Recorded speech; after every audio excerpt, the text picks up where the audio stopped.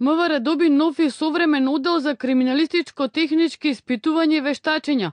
Опремата и модернизацијата во вредност од 200.000 евра е донација од американската влада. За прв пат ке се применува софистициран концепт за складирање, организација и постапување со обезбедениот доказен материјал. Обезбедена е платформа за развој и имплементација на системско решение со кое се обезбедува интеграција на сегментите за криминалистичка техника низ Републиката со одделот за клиничко-технички испитувања и вештачења.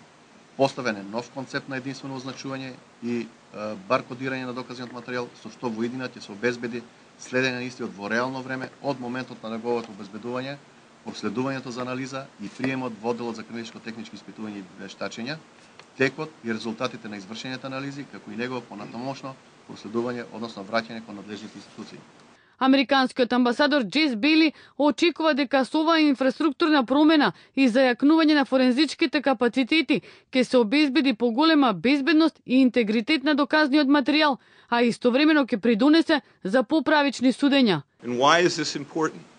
Зошто е ова всушност важно? Затоа што а, модерни а, простори или капацитети на Министерството за внатрешни работи помагаат а, да се осигураат доказите и тие да бидат соодветно складирани и а, за нив секој постојано да се а, да има трага, да се знае каде се, но на начин за случаите да може да бидат прецизно и темелно истражувани и во крајна линија секако добрите момци да можат да ги фатат лошите момци. Просториите се обезбедени со специјални врати кои ќе обезбедат заштита заштита од пожари или насилно влегување, односно ќе има електронска контрола на пристап и зголемен видеонадзор.